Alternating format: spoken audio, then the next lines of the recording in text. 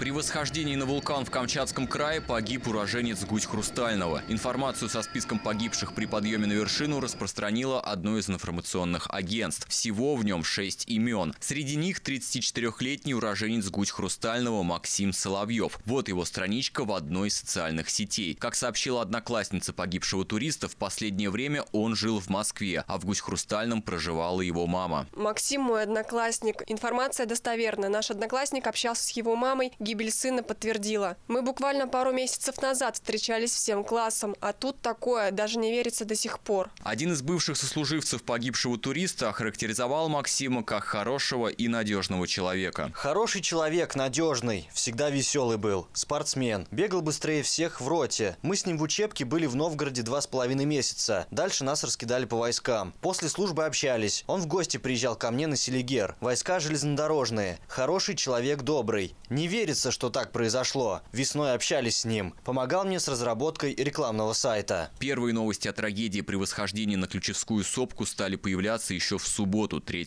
сентября. Местный следком сообщал, 30 августа группа туристов из семи регионов России начала восхождение на вершину. Всего в подъеме на вулкан приняли участие 10 туристов и два гида Новосибирской туристической компании. По предварительной информации, 3 сентября текущего года, находясь на высоте около 4150 метров, при падении с высоты не менее пяти человек погибли. Один из гидов получил травму в виде перелома ноги. Второй гид, сообщивший о произошедшем по спутниковой связи в подразделении ГУ МЧС по Камчатскому краю, оказывает помощь пострадавшим. Вскоре спасатели Камчатского края начали спасательные работы, но 4 сентября они не смогли высадиться на вулкане из-за штормового ветра. В понедельник 5 сентября появилось сообщение, что спасательные отряды начали восхождение на вулкан. В настоящее время спасатели со скалолазом безопасным снаряжением начали восхождение. Их оптимальная цель – добраться к полуночи до отметки 3300 метров, к домику вулканологов. А утром, с рассветом, продолжить путь до отметки 4158 метров. Между тем, исход поисково-спасательной операции зависит от различных факторов.